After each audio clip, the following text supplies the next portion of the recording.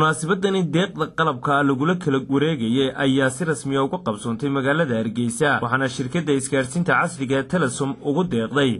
dadkii ku waxyeeloobay roobabkii duufaanada watay ee ka da'ay xeebaha somalilan gaar ahaana xeebta waqooyi ee gobolka salal. Qalabkan shirkadda casriga ee isgaadhsiinta ee telesom ugu deeqday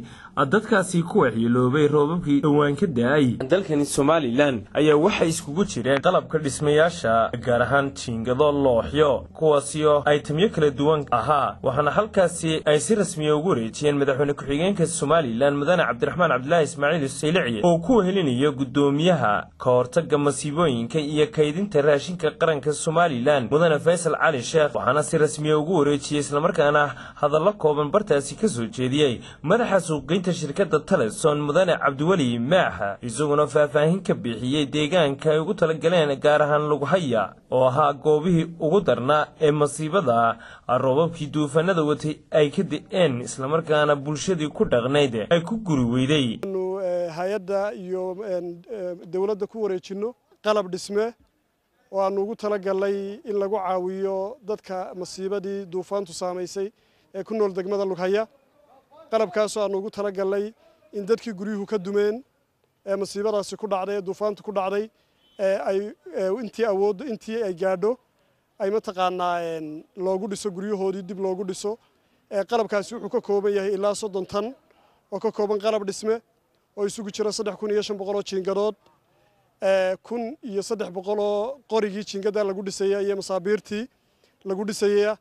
qalabkaasi dhammaantood waxaa bixisay shirkadda telesom. Waxay ugu tala gashay inay dadkeeda masiibada ku dhacday kala qayb qaadato.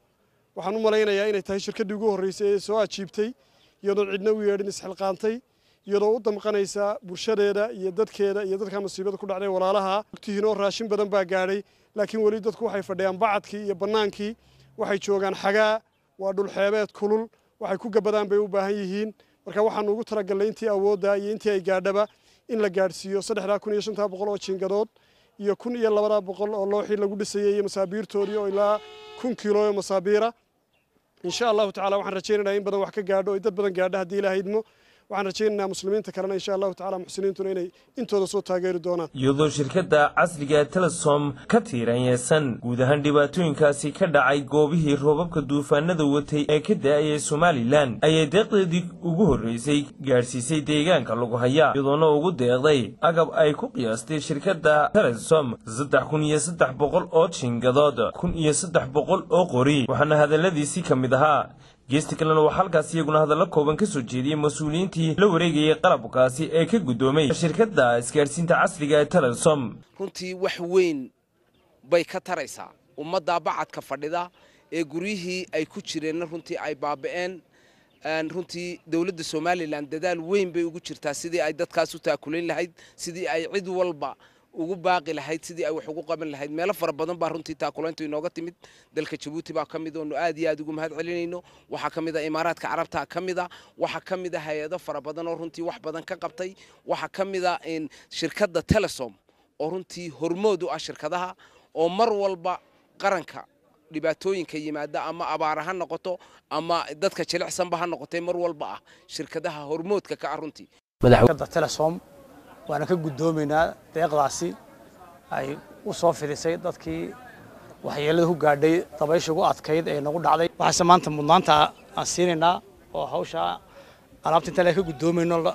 mudnaanta la siinaya dadkii shacabka ahaa ee baradu dibadda u saartay balaayadu dibadda u saartay in intii laga gaari karo iyo isagoo kala jilicsan yihiin in loo siiyo. Marka waan ka guddoonnay inta saddex kun shantaa boqol ee jiingadaas maariyuhu sheegay iyo qorigeedii iyo maarata masaabiirteedii annaguna ka dawlad ahaan injineeradii iyo wixii maarata kale aan ku taag annaga ku kabayna annaga ku kabaynaa hadday tahay maarata shaqaayadda wixii laga caawin karo dadka aan ka caawin karna ka dawlad ahaan diyaar baan la garab joognaa waxaan leeyahay shirkadaha kalena intan waxba kama tarayso markaad eegto dhibaatadii dhacday ha lagu daydo marka maadaama cuntada inta badan waan gaadhsiinay runtii meelo badan oo maarata dawladda saxiibadan way nooga yimaadeen cuntadii waxaan soo baahanay hoyga u muhiimsan oo nolosha cuntada waxaa ku xiga waa hoyga. Hoyga aad buu inooga qaban yahay in dhammaanteen shacab iyo dowladba gacanta isku qabsano. Cumar shaafi telefishinka caalamiga badda cas 24 t v magaalada hargeysa